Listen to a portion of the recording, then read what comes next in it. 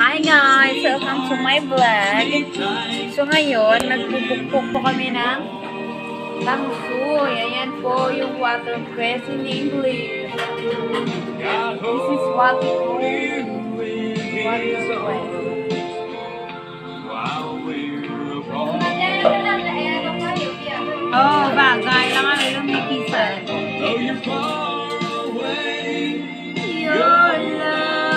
Matching coffee.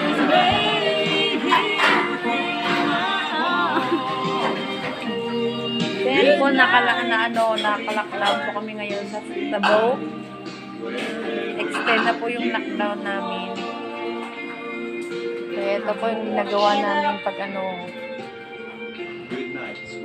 wala kaming magawa. Ang boring, pero kinakailangan.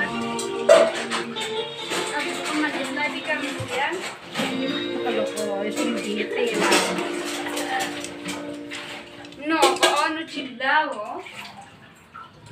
Baka daw huwag kayong kapag.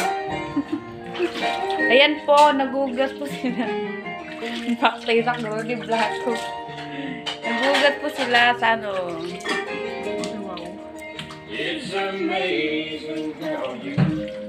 Hindi po kasi sila sanay sa, maraming tao. Yabas. Wow. Ayan po. So ngayon, ulan na ata kasi yung ano.